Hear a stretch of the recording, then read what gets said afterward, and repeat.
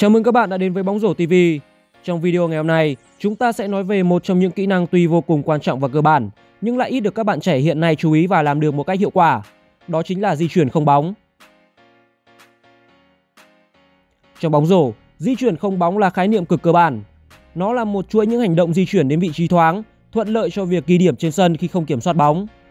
Việc di chuyển không bóng hiệu quả sẽ đem lại rất nhiều lợi thế cho cả bản thân lẫn đội bóng trong những lượt tấn công liên tiếp của một trận đấu. Vậy ở video ngày hôm nay, chúng ta hãy cùng điểm qua top 4 mẹo giúp bạn di chuyển không bóng hiệu quả hơn. Mẹo thứ nhất đó chính là di chuyển đến điểm thoáng, tránh xa khỏi bóng. Trong một trận đấu, khái niệm spacing hay giữ khoảng cách là rất quan trọng. Khi bạn không kiểm soát bóng, hãy di chuyển thật xa ra khỏi phía bóng, đồng thời chọn vị trí thoáng thuận lợi nhất để nhận đường truyền từ đồng đội sau khi họ tấn công vào rổ. Việc di chuyển như thế này đôi khi sẽ tạo ra rất nhiều tình huống đột thoáng cho đồng đội vì hàng phòng ngự của đối phương đã phải mở rộng ra. Trong tình huống này, ngay khi nhìn thấy cầu thủ dẫn bóng có đà tấn công, cầu thủ không bóng đã lập tức di chuyển về phía đáy để tạo khoảng trống. Ngay khi thu hút được sự chú ý của hàng phòng ngự, một đường truyền đã được thực hiện đến cầu thủ thoáng và tạo ra một tình huống ghi điểm dễ dàng. Mẹo thứ hai là hãy tận dụng sơ hở của đối phương. Việc lộ ra những sơ hở là rất thường xuyên trong một trận đấu.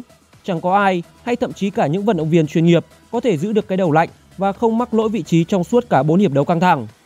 Nếu bạn biết cách tận dụng thời điểm sơ hở của đối phương thì việc đi vào rổ nhận bóng và ăn điểm là điều vô cùng dễ dàng. Luôn luôn chú ý, sẵn sàng để đột kích vào trong, bạn sẽ đủ chống trải để mang về điểm số cho đội bóng của mình. Mẹo này đòi hỏi các bạn phải có sự tỉnh táo và nhạy bén, cùng với đó là kinh nghiệm được đúc kết qua từng trận đấu nên hãy tự rút ra bài học cho mình sau mỗi trận đấu nhé. Mẹo thứ ba đó là sử dụng yểm trợ hiệu quả. Đôi khi một tình huống yểm trợ có thể là hậu phương tốt giúp bạn vượt qua hàng phòng ngự nghiêm ngặt của đối phương. Tận dụng yểm trợ thật tốt, thậm chí lại đi yểm trợ cho người khác để có thể tạo ra khoảng trống cho chính bản thân mình để dứt điểm. Mẹo này tuy nghe có vẻ đơn giản, nhưng để có thể làm được hiệu quả, cần phải có thời gian tập luyện cùng đồng đội để ngày một cải thiện sự ăn ý cũng như mượt mà trong từng pha bóng. Ngay sau tình huống yểm trợ ở đây, chúng ta thấy cầu thủ yểm trợ ngay lập tức di chuyển xa xa khỏi người dẫn bóng. Ngay khi hai người phòng thủ ốp vào người đang dẫn bóng, người dẫn bóng có cơ hội để nhà bóng thoáng cho người vừa yểm trợ.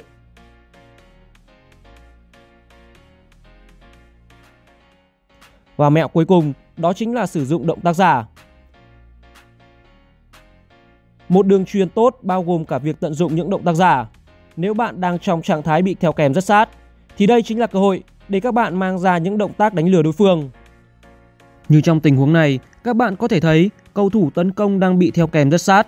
Nếu bạn di chuyển giả để tiến về phía bóng, đối phương sẽ bị đánh lừa rằng bạn đang muốn đi gần về nhận bóng.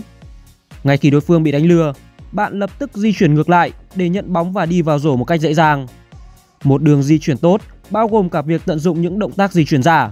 Nếu bạn đang trong trạng thái bị theo kèm rất sát, thì đây chính là cơ hội để các bạn mang những động tác di chuyển giả khiến đối phương bị đánh lừa. Chú ý là khi các bạn bắt đầu động tác giả, các bạn phải thực sự làm nó như thật thì các bạn mới có thể đánh lừa đối phương dễ dàng được. Và tất nhiên, để làm cho động tác giả giống thật nhất cũng cần phải có sự tập luyện trong một khoảng thời gian dài.